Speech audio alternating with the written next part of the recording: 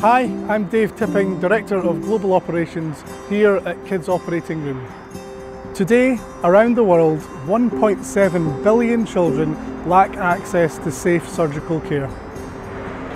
This means 10 out of every 11 children live in a country without the dedicated facilities they need. The situation is such that more children die from surgically treatable conditions than from HIV, TB and malaria combined.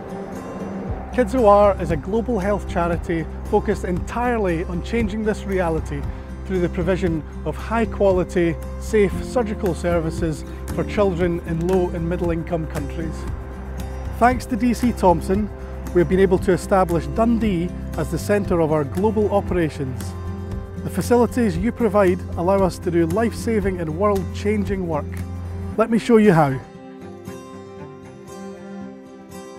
Thanks to DC Thomson, we can design paediatric operating rooms that are tailored to the regional environment and address the needs of the local people. These spaces offer reassurance and comfort for the children and families about to undergo surgery. Thanks to DC Thomson, we're able to test equipment and train paediatric surgeons around the world from our mock OR. Thanks to DC Thomson, we can pack and ship operating rooms to countries around the world. From Ecuador and Ethiopia to Madagascar and Malawi. On average, we install an operating room every 12 days, providing capacity for over 30,000 operations each year.